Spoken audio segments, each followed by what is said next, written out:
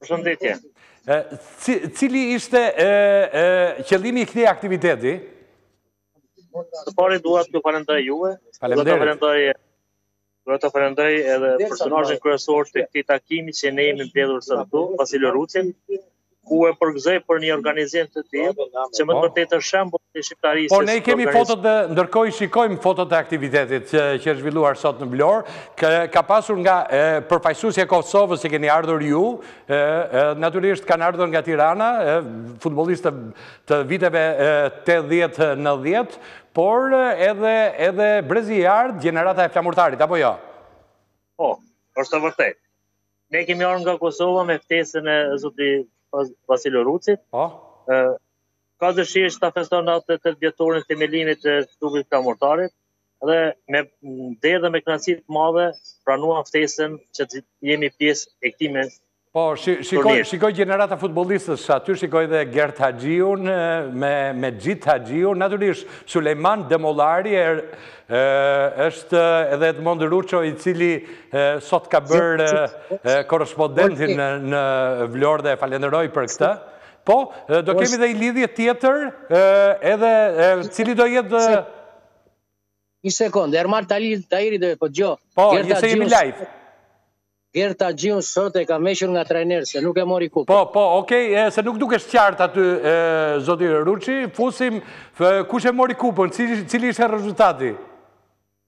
Po normale Kosova. Fantastike fare. Mirë, futim fusim edhe Tahirin pak sepse e kemi e, minutazhin e kufizuar. Në këtë lidhje të fundit, përsa i përket këtij aktiviteti që është zhvilluar në qytetin e Vlorës, një aktivitet interesant triangolar, midis skuadrave, zoti Tahiri, përshëndetje. Përshëndetje, Altin, si dukesh?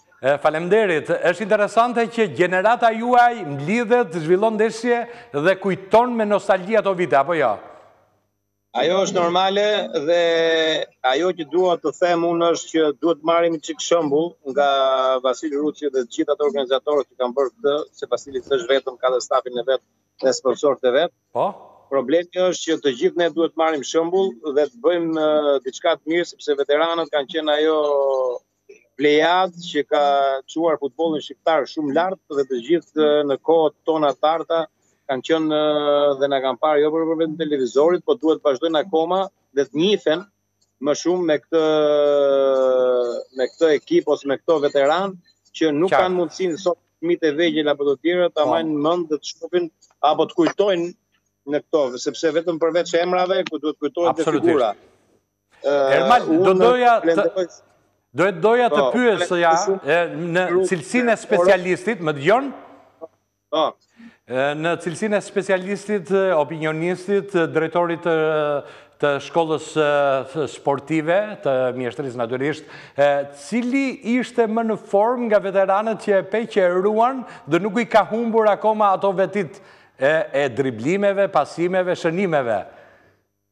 Për sa i përket plejadës që kam luajtur unë dhe janë më të meneme të vjetrit Agustin Kola 1-1. Rrapo Taho 2. Janë dy lojtarët që Okej, okay, kemi ndonjë Rrapo Taho dhe Çipi aty për të marrë dhe nga ata një mendim? Është dhe Kreshniku, është dhe Rrapo, po janë poshtë faktikisht. Okej, okay, mirë. Po të ishin aty do të po të ishin aty në këtë moment mund të mund të çojë po.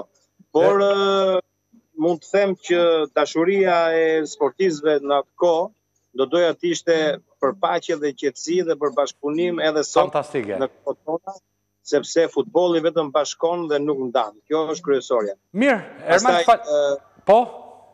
Këto aktivitete duhet të jenë të shpeshta dhe të përhershme, sepse ka shumë lojtarë dhe duhet të bëjmë dhe shumë aktivitete të tjera Absolutisht, sepse kemi minutazhin e kufizuar Ermal kemi dhe kronika të tjera të falenderoj për këtë lidhje nga qyteti i Vlorës dhe do jemi sërisht bashkë. Unë faleminderit shumë. Faleminderit.